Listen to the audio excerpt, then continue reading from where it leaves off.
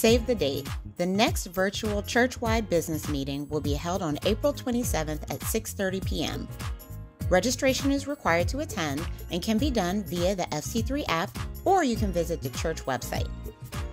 Calling all mothers, grandmothers, and guardians, our FC3 youth will be honoring you with pastries directly after service on Mother's Day, Sunday, May 8th. We hope to see you there. This spring, First Christian will host a 13 week session called Grief Share, a grief recovery support group. Registration is required and includes a $15 fee to cover the cost of materials. This session will be facilitated by Monique McCall, licensed social worker and certified grief informed professional. Please reach out to the church office with any questions. Spaces are limited.